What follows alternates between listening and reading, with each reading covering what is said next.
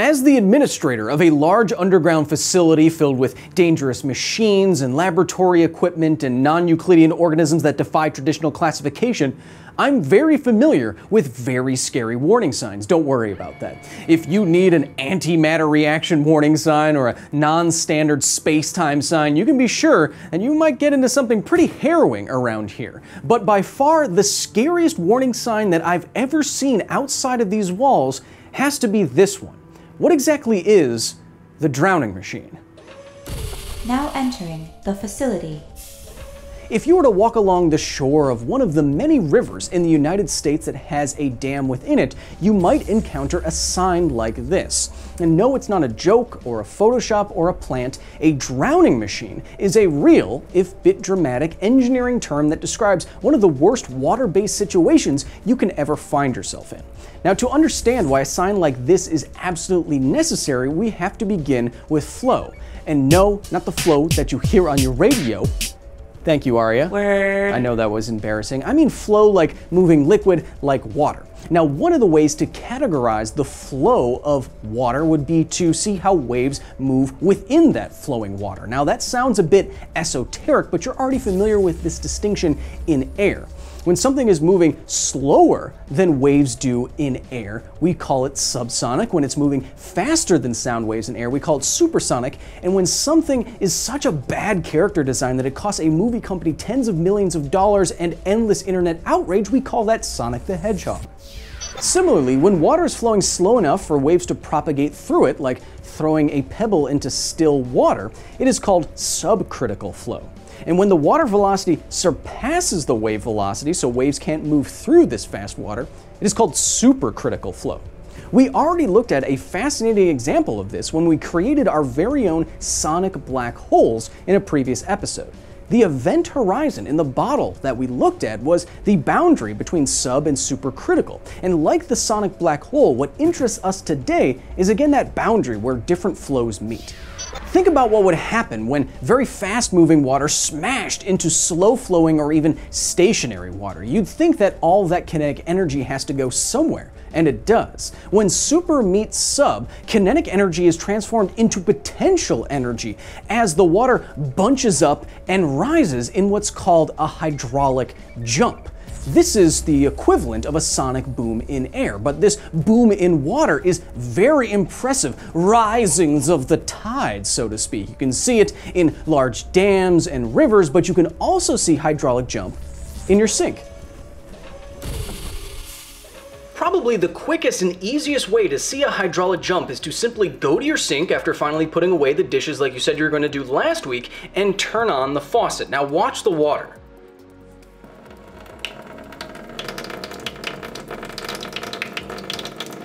See that little circle that forms right here? Now you've probably seen that circle form thousands of times without thinking twice about it, but this is indeed a hydraulic jump. Well, why does it form here? Well, once a film of slow-moving subcritical water forms at the bottom of the sink, it's still encountering the fast-moving supercritical water from above. The boundary here is where all that kinetic energy is being dissipated. Cool, right? Administrator. Yes, Aria, what is Kevin it? has ignored the self-replicating machine's warning sign. Viewers, please enjoy a short commercial break. I have something uh, apparently very important to handle. Oh, my science, they're everywhere. Was that goo a person? Where's Kevin? No, they're dismantling the lab. Oh, Aria, engage countermeasures. They are not responding to the signal. What do you mean they're not responding to the signal? Get them contained now. My leg! Oh no!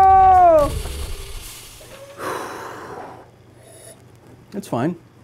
You're fine. You just saw someone get molecularly melted from the inside out. It's not going to scar you for life. It is good coffee, though. Oh, I'm sorry. What were we talking about? Seems kind of dumb now, what with all the death. Oh, hydraulic jumps. Hydraulic jumps are the operative mechanism in the drowning machine, but we need a bit more fluid dynamics before we fully understand them. You see, depending on the conditions, a hydraulic jump can happen at different points. Observe, this first yield the engineering graph. In this graph, you see some supercritical water spewing out from some opening, and it's encountering water downstream that doesn't really have any hindrances to it. So the water does exactly what it wants to do and jumps up perfectly according to the conservation of momentum. In this second figure, you see something different happening. Beyond the supercritical flow, there's some change in the water that allows it to flow more freely than it otherwise would, maybe a change in slope, and so the jump occurs much further out from the boundary point. Now look at this third figure. Something downstream of the supercritical flow is impeding the flow, like debris or maybe even another dam. This pushes the water actually before where the hydraulic jump forms the hydraulic jump is now underwater, forming what is called a drowned jump. This is the killer component.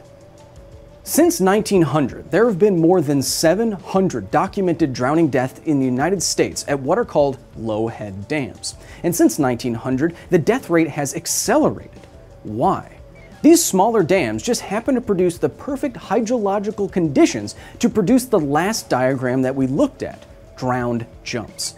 Right past the point where the water drops just a few feet off the top of a low head dam, a drowned jump forms beneath the surface of the turbulent water. But the jump itself rises further away from the dam where the water looks like it's boiling. This creates a recirculating flow, a kind of vortex. Water is deceptively heavy, and heavy water flowing quickly can be extremely forceful. The vortex that can form on the other side of a low head dam can therefore trap smaller objects within it indefinitely in a never ending cycle, washing machine like, of submersion. The water is usually freezing cold, making hypothermia a real concern. It's turbulent and full of bubbles, making it less dense and much, much harder to float in even if you're wearing a life jacket. These vortices contain tumbling logs and debris and trash that will bludgeon anything that comes into contact with them forever. Put all of this together, and indeed you have, if you're unfortunate enough to fall into one, the perfect drowning machine. These are so dangerous that not only are there warning signs everywhere about them, it seems that almost every state in the US has some pamphlet or video about the dangers. There are thousands of low head dams across the United States, many of which are unmaintained or abandoned. Service, please, Aria. Beep boop. So, these signs are absolutely no joke. The dams that harbor these hazards are extremely hard to see if you're on the river, so they can hit you without warning. And if you were to fall into a drowning machine, it's almost impossible to save you. I'm not exaggerating. You are advised against trying to help someone who falls into a drowning machine without proper training and equipment. Just a life jacket won't cut it. And I need to say that because unfortunately, a number of would be rescuers, even professionals like firefighters, have found out the hard way. Look, kayaking and tubing and other summertime activities that your friends who wear Birkenstocks all the time will peer pressure you into are very fun. Just be safe out there and heed any scary warning signs that you see. They're scary for a reason, and nothing, nothing is worth meeting the drowning machine. Until next time. Now exiting the facility. Thank you so much to the very nerdy staff at the facility for their direct and substantial support in creating this video. Today especially, I want to recognize Research Assistant Digital Neo, whoa, and visiting scholar Chris Onyx, cool name that I didn't almost forget. If you want to join the facility staff today, if you want to join the nearly 1,200 nerds that are giving me episode ideas and talking with each other, working with their own game nights and D&D remotely, and listening to a music bot that kind of works sometimes, you can go to Patreon. I know it sounds fun. You can go to patreon.com slash Kyle Hill and sign up right now to get on the facility staff today. And if you support us just enough, you get your name on ARIA here each and every week. And as you can see, there's more and more of you each week, so I don't really know how to pass the time. Hydraulic jumps aren't evil. It's just in low head dams, they just happen to produce something that is very dangerous. But uh, usually, engineers will use hydraulic jumps to their benefit. They're very good at dissipating energy. So, with something like a dam, you can do clever calculations to figure out how far you want the jump to happen, how high you want it to be, and that can dissipate 60 to 70% of the water's energy, which can keep the sub critical, supercritical boundary from destroying your structure or eroding the ri riverbed or, or what have you. How long have I been talking for? Jeez, there's a lot of you. Thank you.